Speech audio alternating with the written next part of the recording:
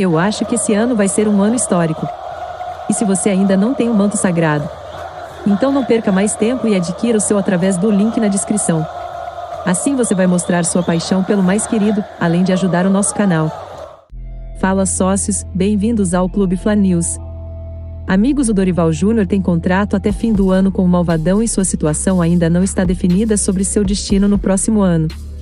Mas antes de ver o que o Marcos Braz tem a dizer sobre a situação do Dorival Júnior no Flamengo, deixe seu like e inscreva-se para ficar por dentro de todas as novidades do rubro-negro, e o meu muito obrigado por sua inscrição.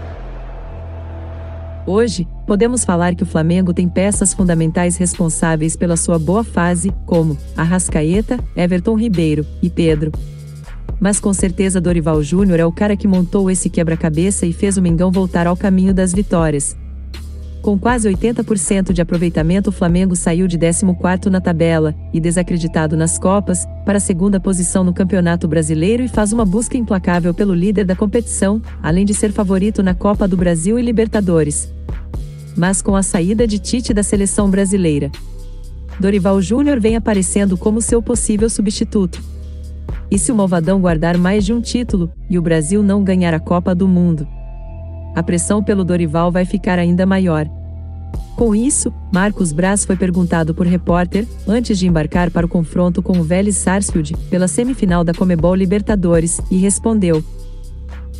Eu acho que isso aí é uma situação que, que passa até por uma naturalidade. O técnico é o Dorival hoje, é, o contrato dele acaba no final do ano, mas assim, é, se tiver que ficar, vai ficar. O Flamengo está feliz com o Dorival, acredito que o Dorival esteja feliz com a gente. Acho que não é momento agora de falar sobre o tema, é, porque não tem os dois um casamento que tá, os dois querem estar juntos agora.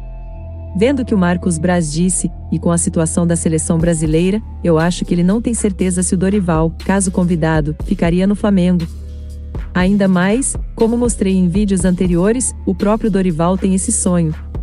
E por isso, o Braz já tem de pensar em nomes visando uma possível saída de Dorival na temporada 2023. Mas isso aqui é Flamengo.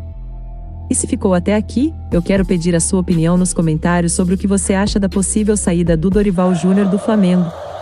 E para quem é Flamengo de verdade, deixe seu like, compartilhe o vídeo e se gostou, inscreva-se.